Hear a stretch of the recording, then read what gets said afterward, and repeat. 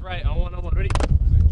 The OC All Star football game is approaching, and the Northern squad has revenge on their minds since the South has won the last two years. I want to win, like real bad, because like I've been going to these games, and the South are always end up winning by big margins, and I just want to just want to stop that streak right now. We're looking strong. I think we got a we got a good chance. I know North hasn't had too much success against the South the past couple of years, but I think we got them this year. It's going to be a competitive game, and uh, we're ready to battle.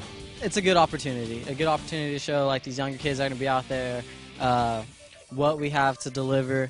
Uh, North, I mean, it's not looked as high as the South. We got Mission Viejo, Mater Dei, those teams over there.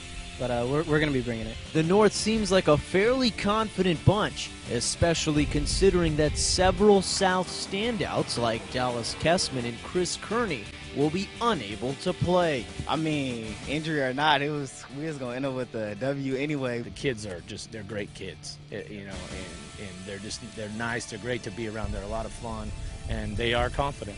The 52nd annual Brea Lions OC All Star football game takes place Friday night at OCC. Jonathan Khamis for OCVarsity.com.